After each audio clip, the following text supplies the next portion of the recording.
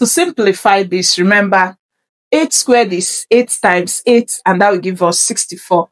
So we're going to have square root of 64 times 2 to the power of 2n plus 2 divided by 2 to the power of 2n times 16.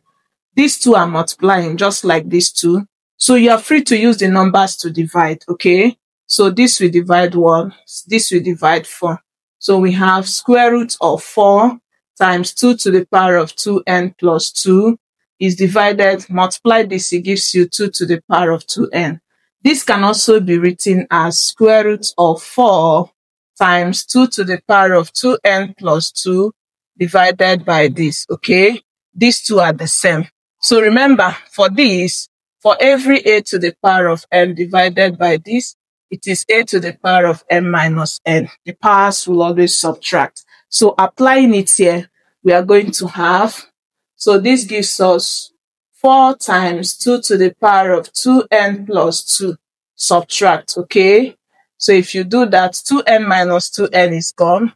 So you have root of 4 times 2 raised to power of this 2. 2 raised to power 2 is 2 times 2, 4 times this 4 will give us 16. And square root of 16 is 4, which is option B. Bye-bye.